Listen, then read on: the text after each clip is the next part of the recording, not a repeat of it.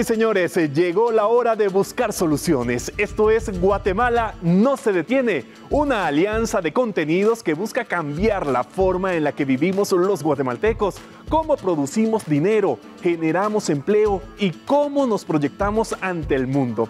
Prensa Libre y Guatevisión dedican desde el 7 de agosto pasado una cobertura permanente enfocada en periodismo de soluciones en cada columna de esta plataforma. La atracción de inversiones, que es el tema que veremos el día de hoy, capital humano, infraestructura, turismo y certeza jurídica.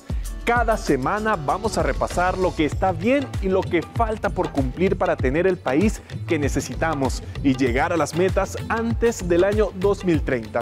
La cobertura la tenemos cada lunes en Guatevisión a las 22 con 15 horas. En la versión digital de Prensa Libre, en el QR que ves en pantalla, allí podrás explorar todo lo que hemos publicado y cada jueves tenemos el ejemplar impreso de Prensa Libre. Como ves, es un proyecto con múltiples formatos y sabes qué es lo más impactante, que cada noticia, cada avance y cada desafío te lo contaremos desde historias y vivencias de los mismos guatemaltecos, con el método periodístico y las fuentes que tienen la información que lo podrá cambiar todo. Queremos sacar el mejor potencial de Guatemala. ¿Nos acompañas? Bienvenidos a Guatemala, no se detiene.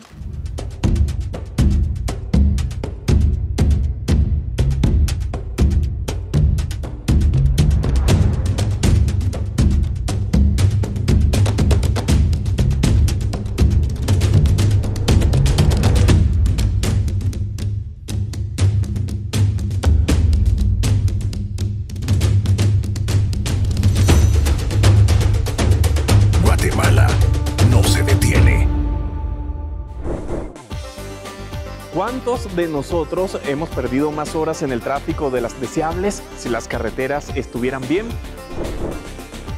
El puente Belice 2 puede cambiar la forma en la que nos movemos hacia el norte. Más detalles en solo minutos. Y vuelve micrófono abierto. Salimos a las calles a escuchar sus opiniones sobre cuánto tiempo pasas en el tráfico en Guatemala y cómo esto afecta tu día a día. Así que empezamos con Guatemala no se detiene. Guatemala no se detiene.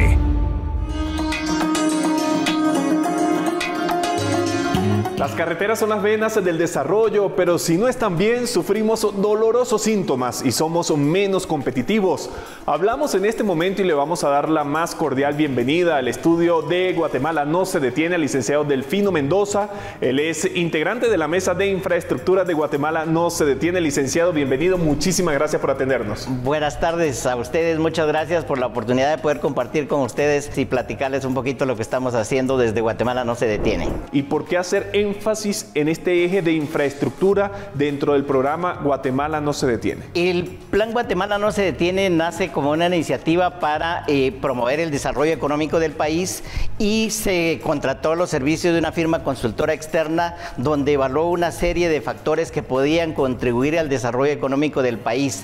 Y en eso se identificaron los principales ejes y la infraestructura está presente en todas las actividades económicas porque eh, cualquier industria cualquier empresa que se quiera establecer en el país requiere de los servicios de transporte para la movilización de sus, de sus productos y de sus insumos. Ahora le consulto, ¿este tipo de proyectos, este tipo de obras va a generar empleos dentro de la sociedad guatemalteca? Realmente no solo el, empleo que se genera en sí en la obra, sino todos los empleos eh, directos e indirectos que van más allá de la propia actividad de la construcción de la carretera. ¿En números de cuántos estamos hablando, tanto directos como indirectos aproximadamente?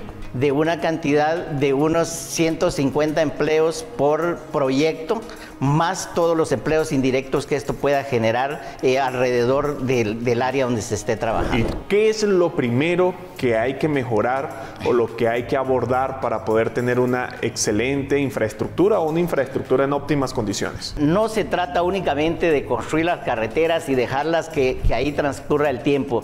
Realmente la vida de las carreteras depende de un adecuado mantenimiento. De aquí a que finalice el programa o hasta cuando está estipulado la finalización de este programa de Guatemala no se detiene.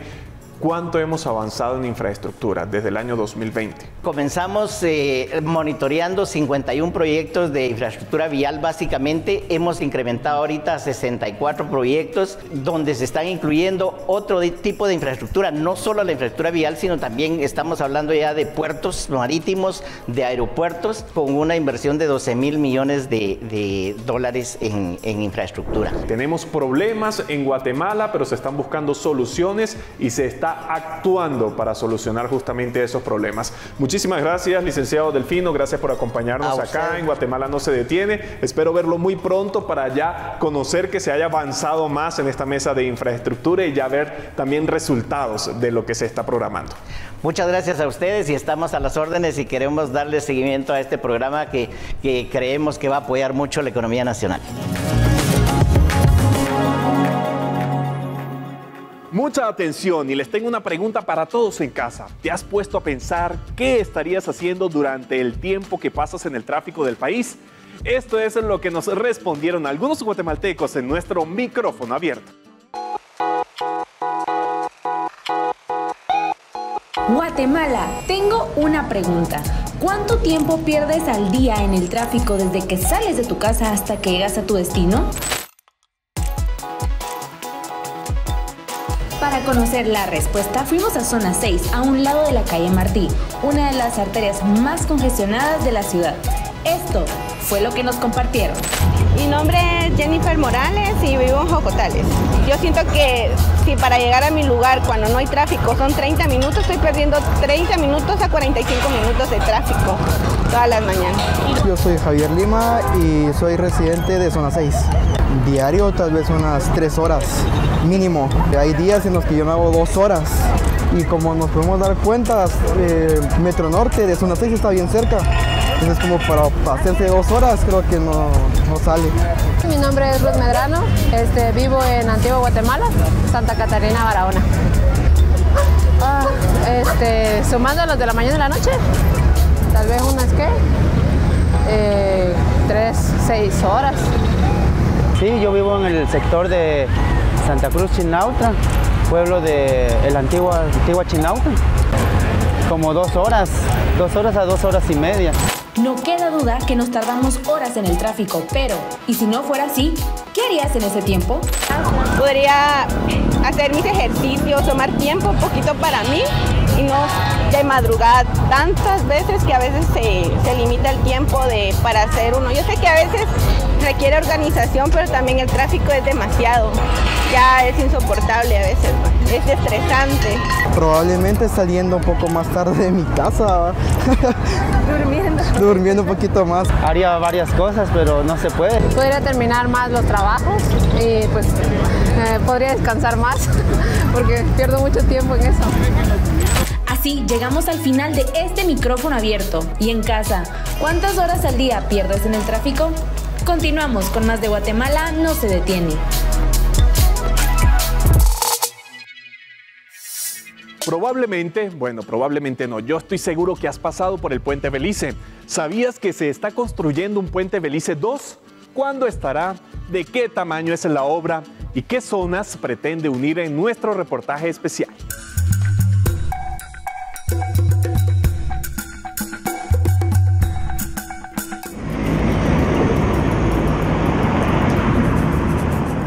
Circulan más de 141 mil vehículos provenientes del Atlántico en esta área de la zona 18 capitalina, de las cuales alrededor de 89 mil atraviesan el puente Belice, una infraestructura que data de 1958 y que debido al incremento en la carga vehicular a lo largo de las décadas la estructura está deteriorada. Guatemala ha estado rezagada en desarrollo de infraestructura estratégica y esta infraestructura conforma parte de la infraestructura estratégica que requiere el país. El colapso vial y rezago en infraestructura han ocasionado que proyectos de construcción, como lo es el puente Belice 2, se aceleren para llevar a cabo su ejecución.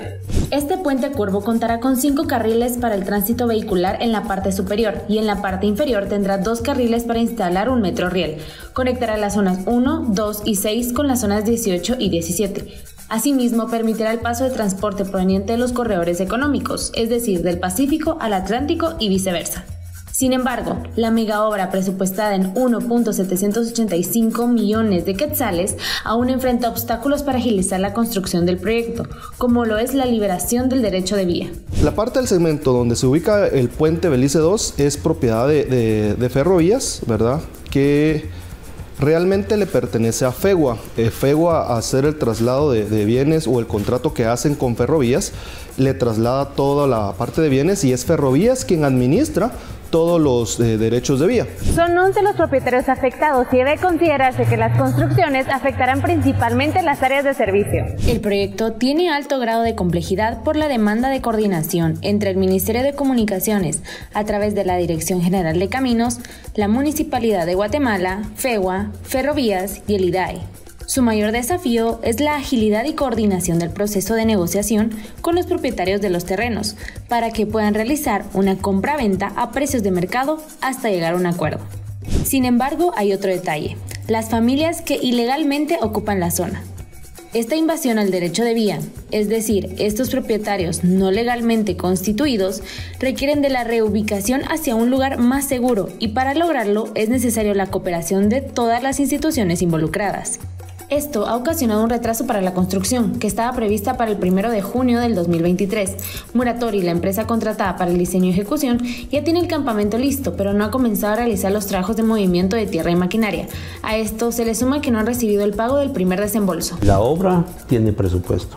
Nació con presupuesto, irá con presupuesto. Todo lo que tenga de ampliación que corresponde a mejoras del proyecto eso irá con presupuesto del propio, de la propia institución. Tenemos como una, una experiencia de que han, con los cambios de gobierno se han dejado obras eh, inconclusas. El puente Belice 2 debe ser entregado para marzo de 2027. Sin embargo, para ello es crucial que se complementen las negociaciones sobre el derecho de vía, que el Estado a través del Ministerio de Comunicaciones realice los pagos a Muratori y que el Congreso garantice los fondos para que se cumplan. Y sabemos lo mucho que disfrutaste de Ahora Sabes Más en nuestro anterior programa. Por eso, este segmento está de vuelta en Guatemala no se detiene para que te empapes de mucha sabiduría con la definición de algunos términos. Guatemala no se detiene. Así es, Alberto. Comenzamos con la primera definición para esta noche. Derecho de vía es el que tiene el Estado o las municipalidades sobre una faja de tierra en que se construyen caminos y rutas nacionales o departamentales, siempre a favor del Estado. Otra de las palabras que les traemos es expropiación. Aplica propiedad privada solo cuando el beneficio social está comprobado y ejecutarse como lo señala la ley, como una carretera nacional o una obra pública. Y para terminar esta lista de palabras tenemos indemnización.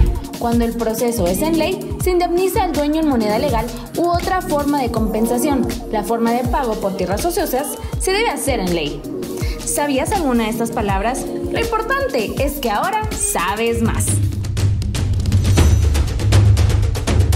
Guatemala no se detiene. Continuamos y yo quiero que en casa trabajemos con la creatividad en este momento. ¿Se imaginan tomarle un video al futuro? Hoy, gracias a las gráficas tridimensionales, viajaremos en el tiempo para presenciar cómo se vería construido el puente Belice 2 y ese viaje será con Álvaro Hugo Rodas. Él es el director de obras de la Municipalidad de Guatemala.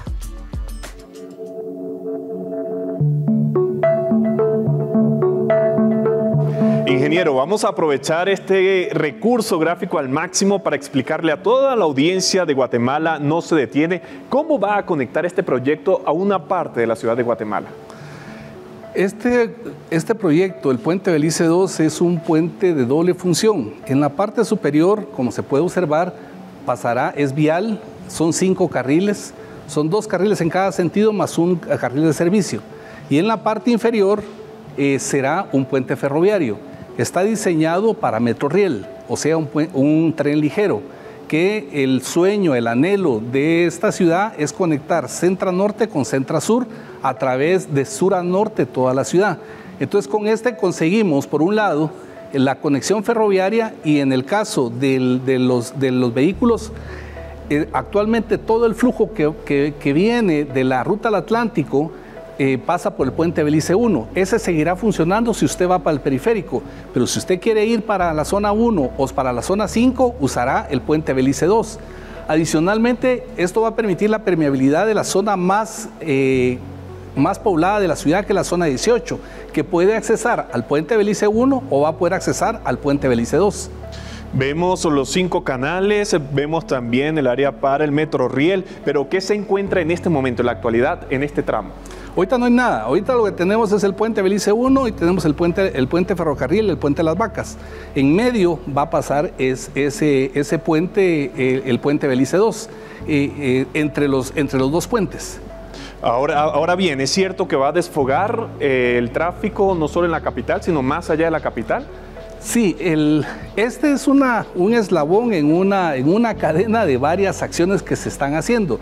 Eh, comenzamos, digamos, en el caso de la, de la, de la calle Martí, se han hecho ya varios, varios pasos a desnivel. El paso de nivel de la 13, calle, de la 13, de la 13 avenida, el, eh, posteriormente el paso de nivel de la cuchilla, falta una segunda fase que estamos por iniciar y ah, en este momento se está trabajando en una ampliación en el, kilómetro 4.5, en el 5, en el 7 se está haciendo distribuidor vial. Posteriormente hay que, ya tenemos los diseños para el paso de nivel de San Rafael, le llamamos que es el, de la, el del kilómetro 8 está en diseño, el, hay otro, otro paso de nivel en el kilómetro 10, otro en el 13, para que quede un corredor económico. Lo que entendemos que esta es la puerta de entrada del, país a la ciudad. Entonces tenemos que ver cómo abrimos y, gestamos una, forma en la cual pueda, eh, fluir fácilmente hacia el norte. Ingeniero, y es una ruta que pretenden abrir en el año 2026, entre el 2026 y 2027. Un desafío el tiempo, hablando ya en este momento agosto del 2023.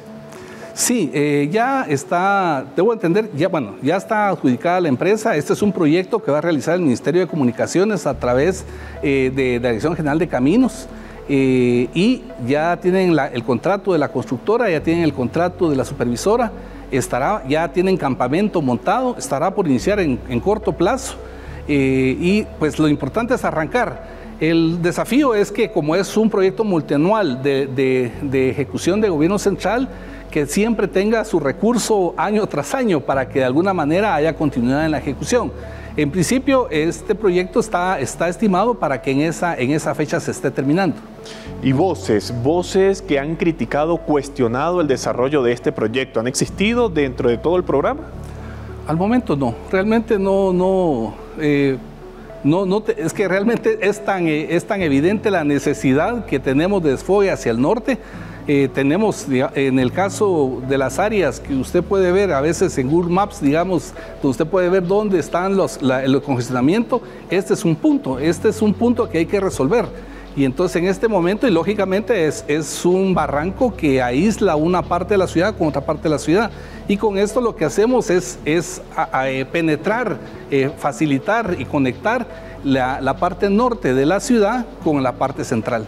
Y prácticamente hablamos de un proyecto que va a beneficiar a todos los ciudadanos, sean opositores o no sean opositores, pero es un programa que va a ayudar justamente al tráfico que lo vivimos y lo sufrimos todos los que hacemos vida acá en Guatemala. Le pregunto, me hablaba al principio en la primera pregunta del Metroriel, pero quiero conocer otras características de este proyecto. El Metroriel está, es, conceptualizado como un tren ligero, un tren de pasajeros que el anhelo y el sueño sería hacer este, este puente, que es el puente Belice 2, y el puente El Frutal, que conectaría en su momento la Petapa con, con, la, con la Centra Sur y al tener esa conectividad en los dos extremos, podemos conectar las dos centras pasando por el centro de la ciudad, utilizando el derecho de vía de, actualmente ferroviario que no está en uso en este momento en la ciudad. Información importante que, debería, que deberían conocer todos en casa, sobre todo al momento de iniciar el proyecto, rutas o si va en esta oportunidad, va a ayudar con el tráfico a que sea más complejo en, principio, a corto plazo. En principio arrancaremos en el lado de la zona 17 del, puente, del, puente, digamos, donde está, actuante, donde está actualmente los puentes, hacia, hacia el norte. Y pues, eh, posteriormente se construirá el puente en sí y finalmente el área que va hacia la zona 6. Adicionalmente al puente per se, hay cuatro kilómetros de segundo nivel. O sea, este, este proyecto trasciende un puente por sí mismo, como porque usted va en un segundo nivel vialmente y ese lo tiene que bajar ciertos metros o kilómetros adelante. Entonces usted va a tener en la ciudad un segundo nivel desde Mariscal Zavala hasta Las Victorias. Entonces va, va a pasar en un segundo nivel elevado un compromiso ante las cámaras de Guatevisión, ante el programa de Guatemala no se detiene, sobre todo en cuanto a la entrega de este proyecto y la calidad del mismo. Mire, eh, este es un proyecto que, fue diseñado por la Universidad de Guatemala, fue solicitado por la Universidad de Guatemala al gobierno central, el gobierno central lo, eh, lo hizo suyo y hoy estamos comprometidos todos. Aquí hemos estado, estamos eh, permanentemente en reuniones, FEGUA, ferrovías, caminos, eh, de Guatemala.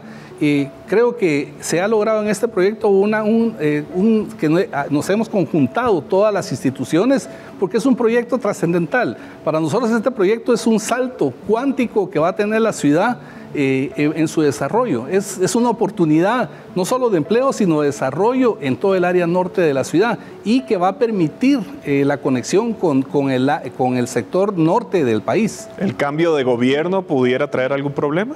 No creemos, si el contrato ya está, eh, ya está contratada la empresa, como decía, tanto la ejecutora como la supervisora, y esperaría, es un proyecto que creo que todos los guatemaltecos lo tenemos y yo creo, y aprovecho plantear que estos son los, son los proyectos de país, un proyecto de ciudad que va a hacer que trascienda en mucho la ciudad de Guatemala, mejore su transporte, mejore su, su conectividad, mejore lo que es el transporte público, o sea, hay muchas, muchos beneficios que creo que son para todos.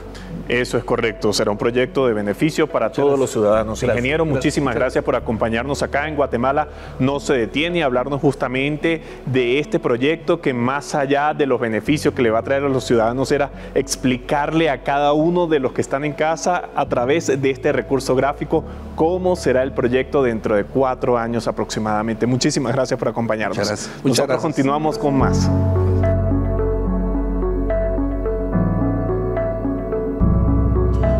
Tiempo corre y en nuestro cronómetro de hoy, Kevin Rodrigo Valencia, director ejecutivo de Anadie, tendrá muy pocos segundos para describir las megaconstrucciones que podríamos ver en Guatemala. Que corre el reloj.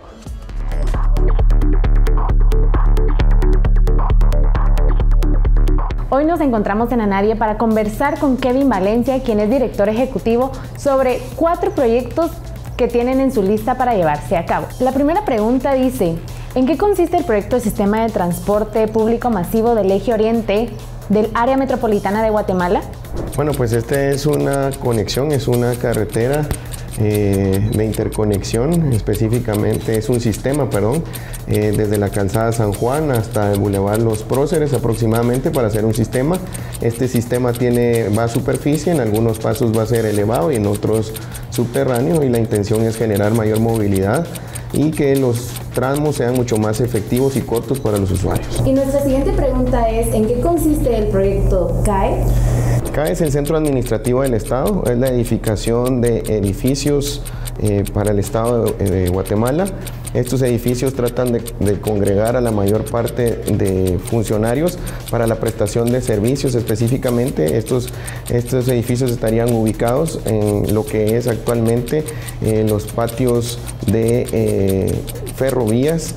Para lo cual se estaría desarrollando ahí el primer proyecto de estas edificaciones para la atención de público en general. La siguiente pregunta dice, ¿en qué consiste el proyecto de Vía Express de interconexión con la CA9 Norte y CA1 Oriente? Pues efectivamente, como su nombre lo dice, esta es una interconexión a través de una carretera con altos estándares de calidad y servicios técnicos específicamente para que se haga una interconexión desde la continuidad de la VAS hasta el Atlántico. Este es un libramento para la ciudad de Guatemala que se estructura en la Agencia Nacional de Alianzas para el Desarrollo de Infraestructura Económica a través del modelo de APPs, buscando efectivamente una mejor movilidad para los usuarios carga y usuarios livianos de transporte liviano. Y nuestra pregunta es, ¿en qué consiste el proyecto del Metroriel? Pues Metroriel eh, básicamente es un sistema eh, férreo que conecta Centro Norte con Centro Sur La intención es eh, que haya una mayor movilidad en el área metropolitana de Guatemala, para lo cual este proyecto es sumamente ambicioso en la edificación de infraestructura necesaria para poder llevar a cabo este proyecto. Eh, definitivamente es uno de los proyectos pilares de la NADIE y esa es la intención, es la utilización de las eh, rutas férreas que actualmente utiliza la ciudad de Guatemala Centra Norte con Centra Sur. Muchísimas gracias por aceptar el reto y continuamos con más contenido de Guatemala No se detiene.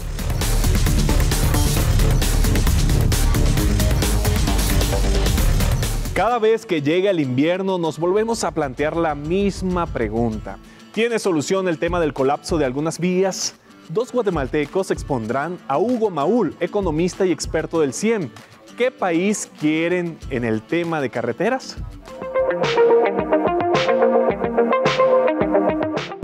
Acá en el set de Guatemala No se detiene Renato Guillermo de Ciudad de Guatemala y también José Contreras de Chimaltenango. Tenemos un experto del CIEN, economista, licenciado, profesor. Él es Hugo Maúl, a quien también le damos la más cordial bienvenida. La primera pregunta, ¿creen que las rutas nacionales ya llegaron a su límite en cuanto a capacidad?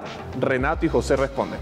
Renato, quisiera consultarle por qué está de acuerdo en que ya llegaron a su capacidad las rutas nacionales. Creo que por más eh, pasos a nivel que se creen, eh, por infraestructura que se vaya a crear, el flujo vehicular es muy grande, eh, la, población sigue creciendo y, siempre se va a requerir nuevos pasos a desnivel. Siempre vamos a tener ese problema. Entonces le considero que lo más importante es tener una educación vial. José, ¿qué opina? Sobre todo José, que vive en Chimaltenango, la ruta hacia la ciudad capital, ¿cuánto tarda aproximadamente diario? Eh, la capacidad de las carreteras, de las rutas, pues ya están muy saturadas. Creo que en parte también es por el hecho del crecimiento poblacional.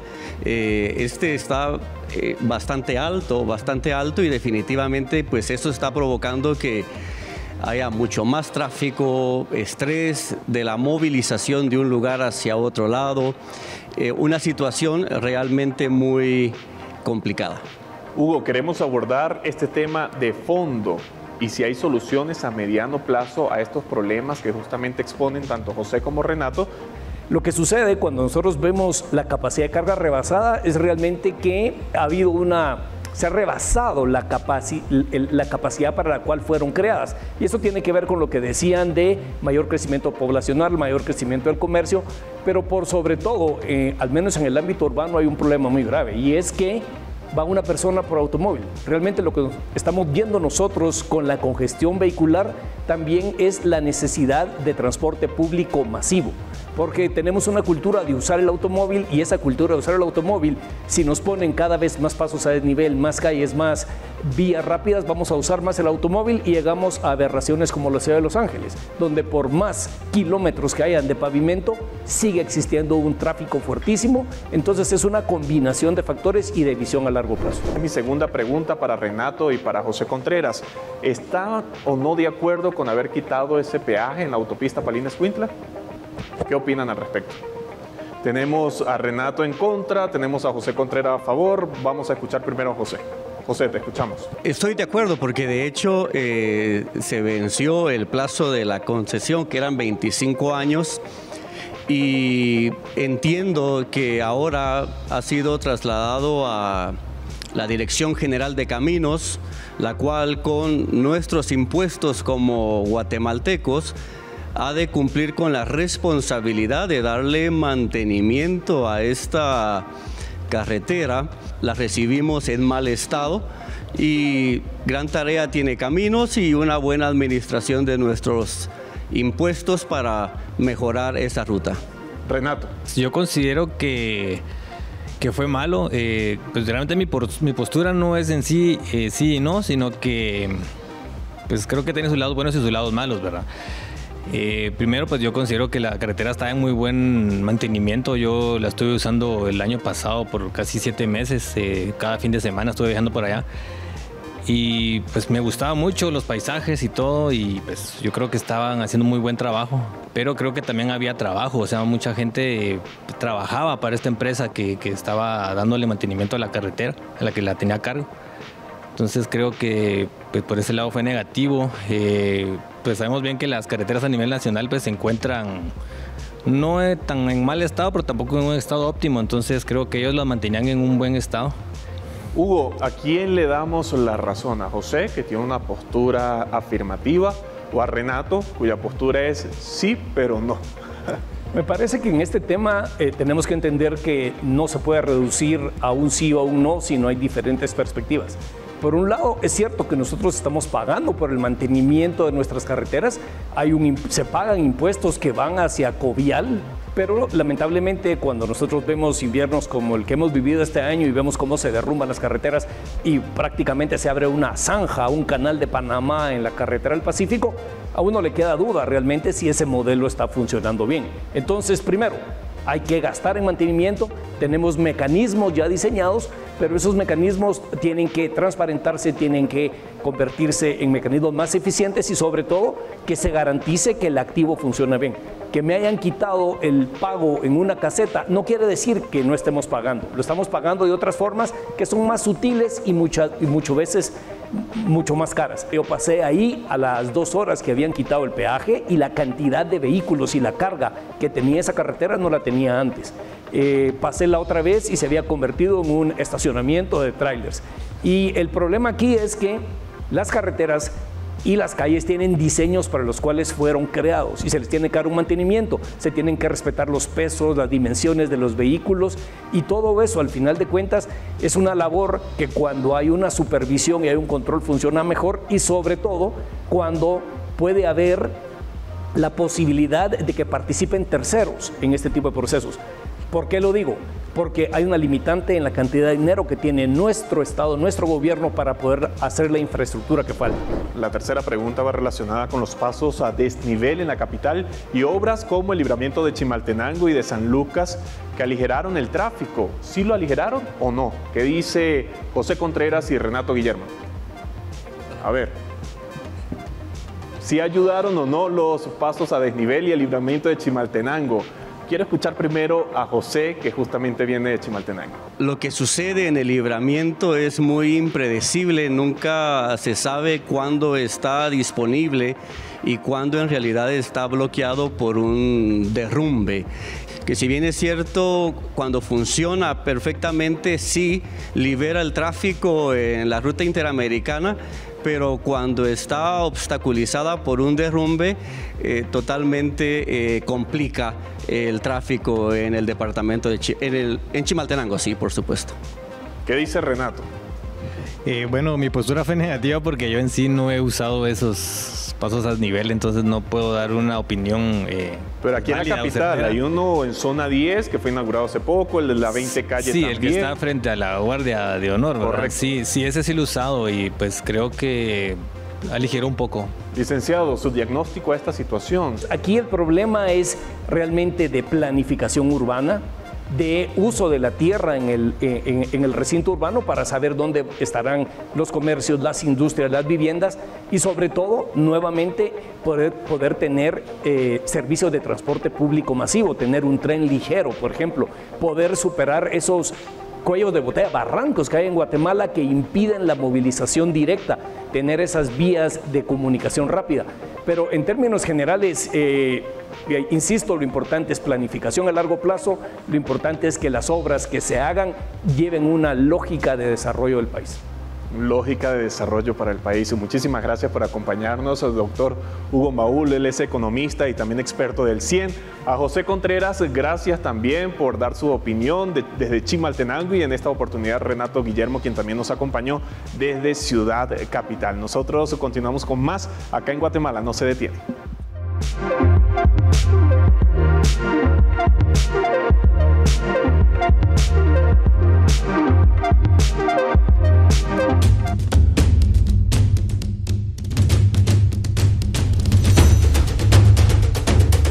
Guatemala no se detiene.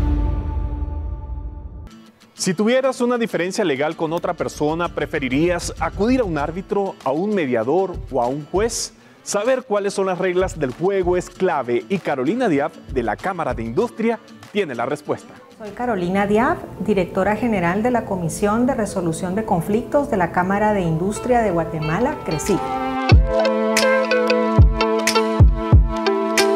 La diferencia entre un árbitro y un juez es que al árbitro lo eligen las partes. Son ellas las que eh, voluntariamente se someten al arbitraje, las partes en conflicto, y son ellas las que eligen a sus árbitros. Las resoluciones de los árbitros son resoluciones privadas, confidenciales, mientras que las resoluciones de los jueces son resoluciones públicas. Ahora bien, el mediador es un tercero que ayuda a las partes a resolver el conflicto o la controversia que tienen por ellas mismas. Algunos ejemplos pueden ser eh, contratos comerciales. La intención de este mecanismo alternativo de resolución de controversias, que es el arbitraje, es ayudar a resolver controversias eminentemente mercantiles, comerciales, de inversión. Para contratos, por ejemplo, de obra, de distribución, de construcción, financieros, de gobierno corporativo, comerciales, eh, transaccionales. Es en estas materias en donde vemos eh, la utilización beneficiosa del arbitraje. Yo creo que el arbitraje eh, tiene una muy buena relación entre costo y beneficio. El arbitraje representa un costo en virtud de que es un mecanismo alternativo de resolución de conflictos que se administra privadamente. Eh, los costos pueden variar dependiendo de que si se decide por un árbitro o por tres árbitros para la integración del tribunal arbitral.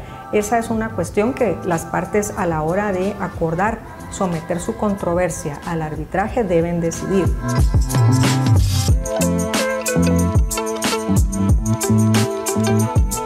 Guatemala no se detiene, se fijó metas, cuatro en particular, y es nuestro deber cada semana revisar el avance y también si hay estancamiento en esos objetivos. Todas están planteadas al 2030. En exportaciones tenemos una meta anual de 19 mil millones de dólares y a mayo de 2023 llevamos 6.319 millones. En inversión extranjera directa tenemos una meta anual de 2.100 millones de dólares y a abril de este año llevamos 394 millones. El ingreso que debería tener cada guatemalteco en promedio en 2030 es de 14.500 dólares. Hoy esa cifra es de 5.473 con datos a 2022. Y el empleo formal contabilizado por los afiliados del IX es de 1.4 millones en 2022, cuando la meta a 2030 es de 2.5 millones de empleos. Guatemala no se detiene. Hoy nos extendimos hablando de carreteras dañadas y hundimientos, pero también de soluciones y de proyectos que traerán progreso al país si jugamos bien las cartas. Resumimos la emisión de hoy en pocas palabras. ¿Cómo resumimos lo que te compartimos en esta emisión? El Puente Belice 2 es una mega obra que no nos podemos dar el lujo como país de que se quede archivada. El Ejecutivo, por medio del Ministerio de Comunicaciones, es el responsable de mantener los pagos al día a la empresa, para que la maquinaria no se detenga. El Congreso, por medio de los diputados, deben garantizar los fondos para el 2024 en el presupuesto que se discute este año. Resolver algunos conflictos y controversias puede ser más rápido con un árbitro que en un juzgado ordinario. Y como el reloj tampoco se detiene, llegó el momento de despedirnos, pero recuerda que tenemos una cita todos los lunes a las 22 con 15 horas por Guatevisión, en busca de soluciones que nos guíen hacia la ruta del éxito con la cual ganemos todos. Y recuerda, Guatemala no se detiene. Será hasta la próxima semana.